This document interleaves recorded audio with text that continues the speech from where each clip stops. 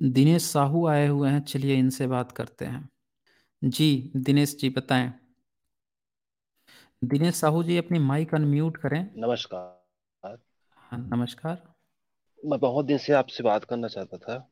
जी जी बताएँ। और बार मैंने मैसेज में भी बार बार लिंक के लिए मैसेज करता था। आज बहुत दिनों बाद आपका लिंक मिला। जी। आपका चैनल जब से शुरू हुआ है शायद मैं तब से आपका वीडियो देख रहा हूँ। हम्म। और मेरा मैं अपनी कहानी बता रहा हूँ। मैं कैसे या, अ, इस रास्ते पे आया हूँ। हम्म हम्म। तो मेरे एक मित्र थे और वो भी कट्टर आस्तिक थे किसी जमाने में। हम्म और वो बहुत लेट से उनकी नौकरी भी लगी रेलवे में है वो। ओके। आ, हाँ तो अब हम लोगों को दोस्तों का ग्रुप बना रहता था तो कई दोस्त ऐसे हैं जो अभी भी आस्तिक हैं और वो लोग आपस में चैटिंग होता है गाय गोबर गोमूत्र से संबंधित मैसेज डालते हैं। हम्म हम्म हम्म, तो वो वो जो नास्तिक बन चुका था हम लोगों से पहले तो वो इनका विरोध करता था तो बहस बहुत ज़्यादा हो जाती थी तो तो कई बार वो ग्रुप से उसको हटा दिया जाता था। लेकिन मैं उसकी बातों को पढ़ता था तो मुझे लगता था कि ये इसको कहाँ से ये सब मिल रहा है ज्ञान मिल रहा है करके। तो उसके बाद यूट्यूब में देखना शुरू किया तो आपका चैनल मिला उसके बाद आपके चैनल को देखा सारे वीडियो देखता हूँ मैं अक्सर आपके। ओके। और उसके बाद से मुझे लगा कि नहीं आपका रास्ता ही सही है। उसके बाद से मैंने ये सब छोड़ दिया। मतलब लगभग लगभग मैं नास्तिक तो हूँ ही नहीं नास्तिक ही हो गया हूँ। लेकिन एक सवाल मेरे जहन में बार बार आता है। हम्म हम्म, वो सवाल ये है सर जी कि जैसे हमारा भविष्य जो है वो किस बात से तय होता है? हमारा अगला पल। जी जी। यही प्रश्न है। मतलब हमारे हाँ मतलब हमारे केवल कर्म ही निर्धारित करते हैं ये हमारे विचार। कई पुस्तकें ऐसे हैं जिसमें जैसे रांडा बर्न की है या ओसो भी बहुत बोलते हैं कि आपका विचार ही आपका भविष्य तय करते हैं करके। तो इसमें कितनी सच्चाई है? देखिए आपका जो प्रश्न है ना कि हमारा भविष्य कौन तय करता है या कैसे ये निर्धारित होता है? तो इसको आप समझ सकते हैं कि अ, एक कॉइन को जब आप टॉस करते हैं तो क्या आप ये निर्धारित कर सकते हैं कि ये जो टॉस हुआ है तो अभी अगले पल हेड आएगा या टेल आएगा? नहीं। नहीं कर सकते। ओके। अच्छा मान लीजिए कि आपसे कहा जाए कि आप जो है यहाँ से जैसे मान लेते हैं आप लंदन में बैठे हुए हैं और आपसे कहा हम्म। जाए कि आप लंदन में बैठे हैं आप वहाँ से जो है इंडिया आइए इंडिया में हम्म। दिल्ली में उतरिए दिल्ली से उतर के आप जो है फिर वहाँ से आप बेंगलुरु तक जाइए।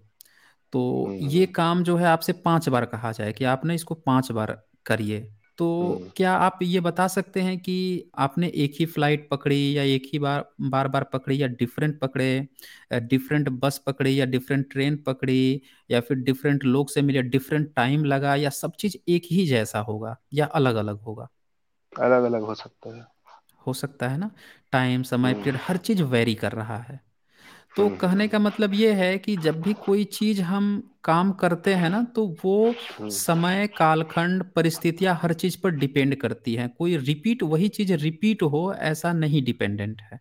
ये प्रैक्टिकल लाइन में क्योंकि अ, ये हम्म। चीज़ निर्धारित नहीं है। हम लोग हर क्षण बदल रहे हैं हम्म। दुनिया हर क्षण बदल रही है। तो ये चीज़ होता है। लेकिन जो इक्विपमेंट्स होते हैं जो जैसे इलेक्ट्रॉनिक इक्विपमेंट है उसमें ये फिक्स है कि आप जब अगर करंट देंगे तो वो करंट फ्लो होगा आप उसको चार्ज करेंगे बैटरी चार्ज होगी देन आप जो चीज़ परफॉर्म करेंगे खोलेंगे वो उसी तरह से खुलेगा उसी तरह से जाएगा वो फिक्स है। वो किसी हम्म समय हम्म के साथ उसमें कोई परिवर्तन नहीं हो रहा वो फिक्स है। आपने जैसे दिया उस हिसाब से वो परफॉर्म होते हुए जाएगा। अब आपके ऊपर है कि आप एप्लीकेशन लेयर पे क्या चीज़ चेंज कर रहे हैं। लेकिन जो उसके भीतर के जितने भी लेयर हैं वो जैसे डिज़ाइन किए गए हैं वैसे ही चलेंगे। इंसान का जो समय है वो हर पल बदल रहा है और इसके साथ ही पूरी सराउंडिंग भी इसकी बदल रही है।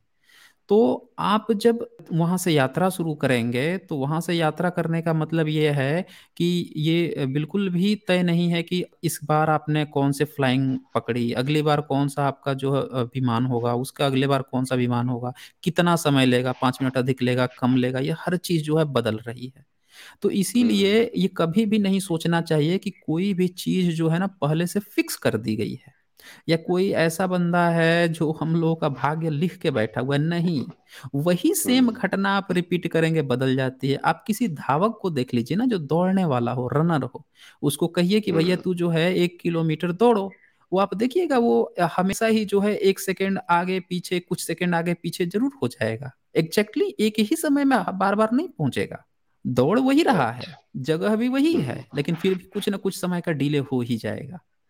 तो इसे कहते हैं हम लोग कि कोई भी चीज़ जो है पहले से फिक्स नहीं है। अगर पहले से फिक्स होती तो फिर जैसे हम लोग कंप्यूटर बना के हर चीज़ फिक्स कर देते हैं इलेक्ट्रॉनिक इक्विपमेंट बना के फिक्स कर देते हैं जिसको हम कहते हैं कि हमने बनाया है।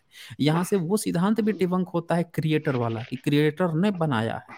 तो हम्म। बनाया है यानी कि फिक्स है नहीं फिक्स है ना हर चीज़ बदल रही है ना हम्म तो हम्म। इसीलिए नहीं कर सकते। इवन हम लोग जो मिरर भी देखते हैं ना वो भी सेकंड के दसवें हिस्से डीले होती है पीछे होती है।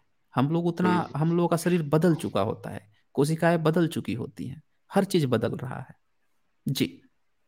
जी तो यानी इसका मतलब ये है कि जो लॉ ऑफ़ अट्रैक्शन वाला जो नियम है वो काम करता है कि नहीं करता है सर?